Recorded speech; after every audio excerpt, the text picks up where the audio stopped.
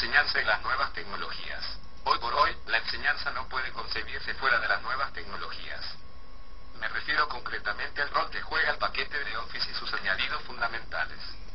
Las habilidades básicas de carácter tradicional, como lo son las de leer, escribir y calcular, hoy están dadas en el paquete. Internet permite leer, los procesadores de texto escribir y las planillas electrónicas calcular. Pero con eso solamente no alcanza. Se necesitan como añadidos retocadores de foto, creadores de vídeos y formación de blogger y barra páginas web.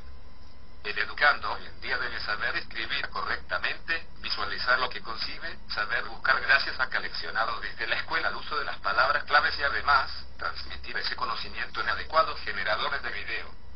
Este conocimiento puede parecer mucho para hombres del siglo XX, pero ha de ser, sin duda alguna, el centro articulador bajo el que ha de girar el aprendizaje en el siglo XXI.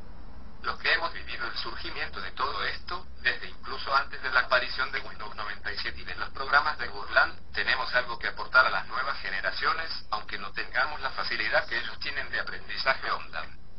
El educando hoy debe saber no tanto de sistemas operativos, como del dominio de aquellas herramientas que conducen, por ejemplo, a un buen uso de los sintetizadores de voz, para poder escuchar aquello que está escribiendo y seguir el modo locutivo de una forma eficaz al oído en el entendido de aquello que Si quieres escribir de una manera hermosa, escribe como hablas.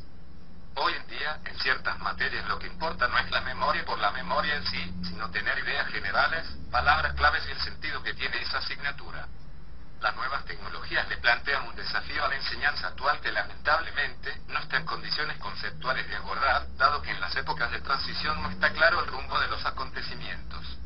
A esta altura, con el camino recorrido desde el primer paquete de Office a la fecha, ya van quedando en evidencia los grandes mojones de lo que ha de ser la enseñanza en el futuro. Si el gran José Pedro Varela viviera, hoy, sería ingeniero en sistemas.